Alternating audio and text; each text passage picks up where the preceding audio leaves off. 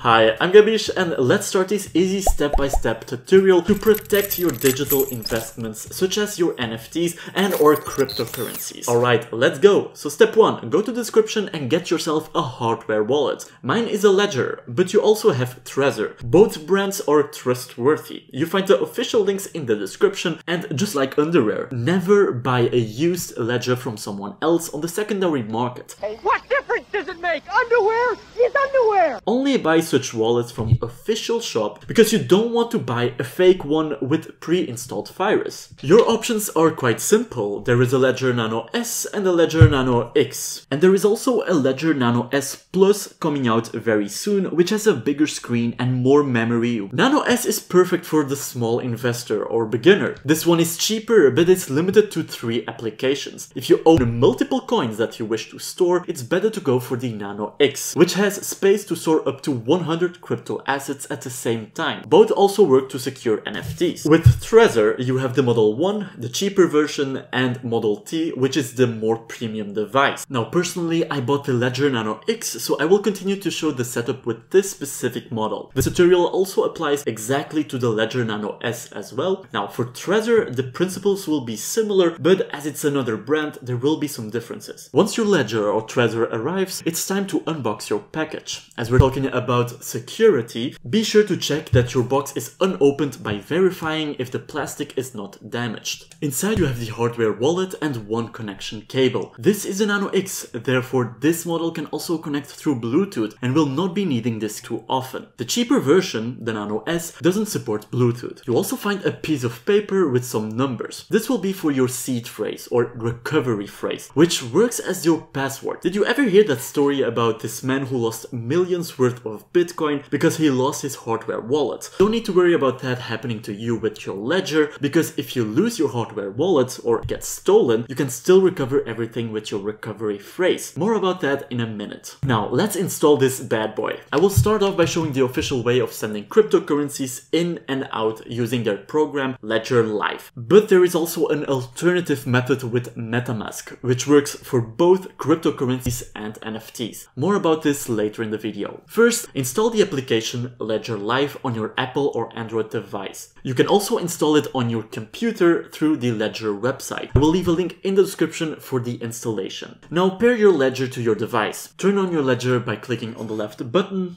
if you have issues to connect with your Bluetooth, you can also use the cable to connect to your device. Now that your Ledger is connected to your device, select the option Install App on your Ledger. You can use the button on the left and the right to navigate through the menu. Click on both buttons at the same time to confirm your selection. Create your PIN code, confirm your code again, now you need to fill in the paper with your recovery phrase. This is like your password. This is confidential, so nobody can know what you're writing on this piece of paper. Write down each word in the exact order. You start with the first word, Click on the right button on the ledger to go to the second and so on. It's important that you only write it down once. Never take a picture of these words and don't show it to anyone else. Keep it somewhere safe in a place only you know where to find it. In the unfortunate case you lose your hardware wallet, you can still recover all your crypto and NFTs with the recovery phrase. If you're afraid this piece of paper might be destroyed with time, because paper is quite fragile, you can do like me and order a metal plate which is water resistant to engrave your words so they don't fade away with time. Once you write down all your words, you need to confirm the exact order of those words on your ledger. Again, use the two buttons on the left and right and click on both to confirm each word one by one. Your ledger is now ready. Let's install applications on your ledger through the Ledger Live app. Go to Manager, install the application you wish, for example, Bitcoin, Ethereum, and so on. You have quite the possibilities. Now that you've installed the applications you need, we can transfer your crypto to your wallet. I will also show you in a minute how you can transfer your NFTs. But be sure to already install the Ethereum application if you're planning on putting NFTs in your wallet. Just a quick side note, the cryptocurrencies and NFTs will not go literally inside the device. They stay on the blockchain,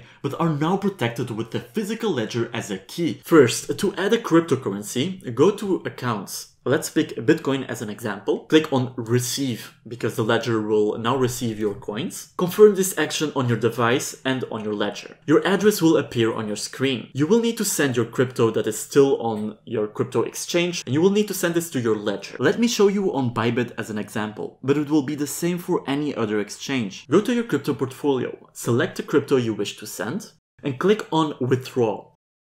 Copy paste the wallet address as the destination.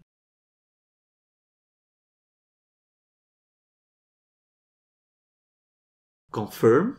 Congratulations, your crypto is now stored on your Ledger device. Now, how do we take it back out? In the Accounts tab, click on the crypto you wish to export. Click on Send, and now we will send this crypto back to your crypto exchange. Go to Bybit or the crypto exchange you use and click on Deposit or Receive.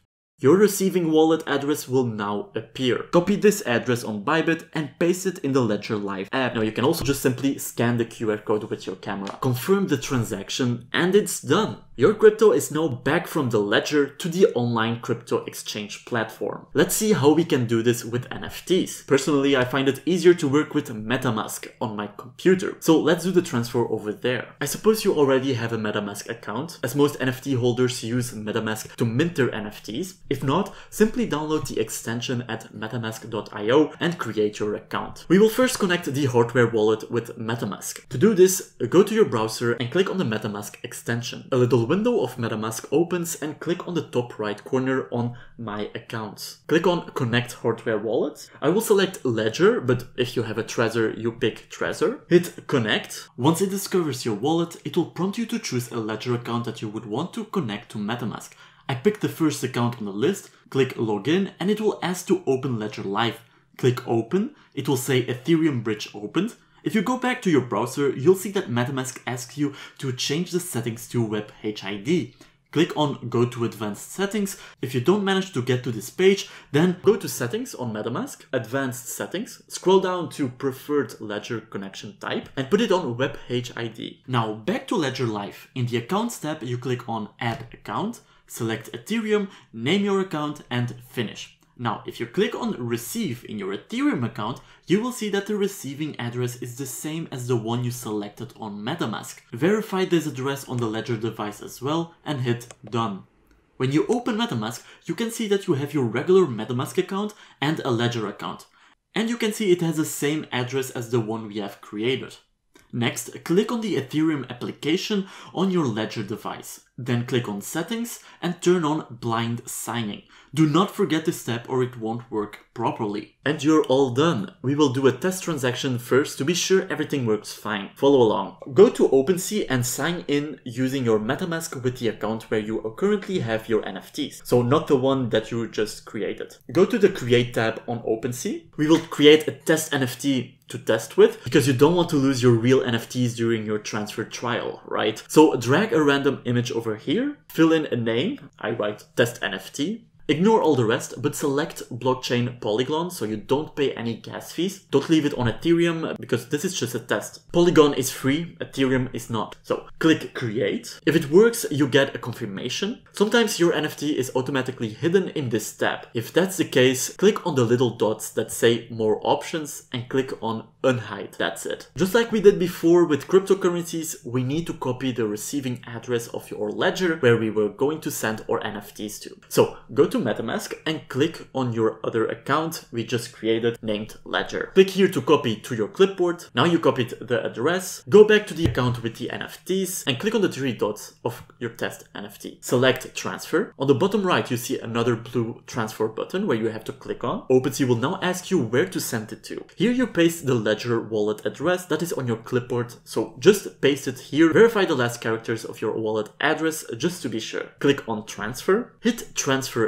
again, a MetaMask pop-up will appear with some code. Scroll down and click sign. Your transfer is processing. After a few seconds, it will be complete. Your NFT is now on your ledger. Let's see if it works. If you refresh OpenSea, you'll see that your NFT is gone and that's a good sign. Let's head over to MetaMask, click on your Ledger wallet, and we'll see if the NFT is on your Ledger account. Refresh OpenSea again, and it should be there. Again, it can be in the hidden tab, so as mentioned earlier, click on the three right dots and select Unhide. Your NFT should now be available on your Collected tab. But what's the difference between keeping my NFT on my regular OpenSea account compared to my Ledger account? When hackers have access to your regular account, they can immediately transfer all your NFTs to their wallet. But if hackers try to get into your Ledger account, they can't get anything out because they need the physical ledger to confirm the transaction to take it out of your account. Therefore, only you will be able to make the transaction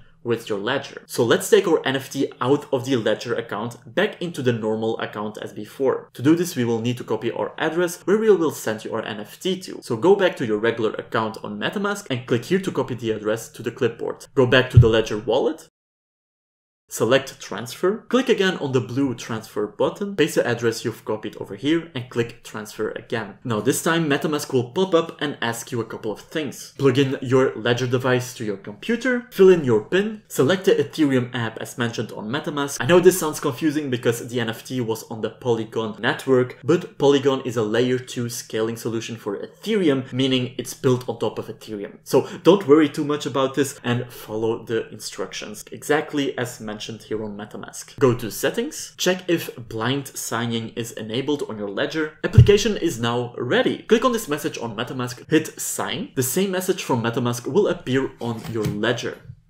On OpenSea, you will see the message that the transfer is processed. When you get the green checkmark, it means it was transferred successfully. So congratulations, your NFT is now back to your normal regular account and is not on your ledger anymore. You can now sell it or do whatever you want with it. To verify, let's head over to our regular OpenSea account, refresh our page, and it should appear over here within the collected tab or the hidden tab. You can easily unhide it by clicking on the three dots, select unhide, confirm, and there you go. Now that we tried with this NFT, you can do this with your real ones. There is a lot of people that don't know a lot about NFTs, so watch this video over here that explains exactly everything you need to know about the NFT space. Thank you for watching and see you next time guys. Bye.